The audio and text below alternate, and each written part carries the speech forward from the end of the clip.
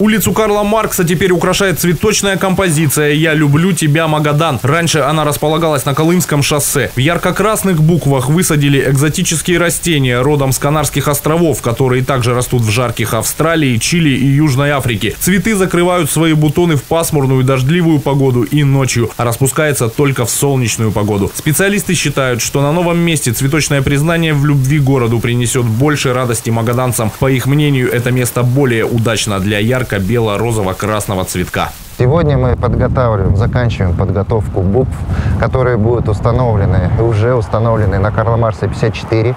В них будут высажены около тысячи маленьких солнышек, полуденники, которые при э, выглянувшем солнце расцветут разными красивыми красками и будут радовать э, Магадан, э, магаданцев. Здесь же через дорогу сотрудники комбината зеленого хозяйства освобождают грунт от пней с помощью специального устройства, так называемой фрезы. Преимущество этого инвентаря в том, том, что он позволяет измельчать пеньки и корни деревьев без необходимости травмировать высаженный в радиусе полутора метров газон и уложенный дерн. Установку приобрели и доставили на собственные средства комбината, уточнил руководитель Алексей Гаврилов. Одновременно с этим КЗХ украшает саженцами парк «Маяк».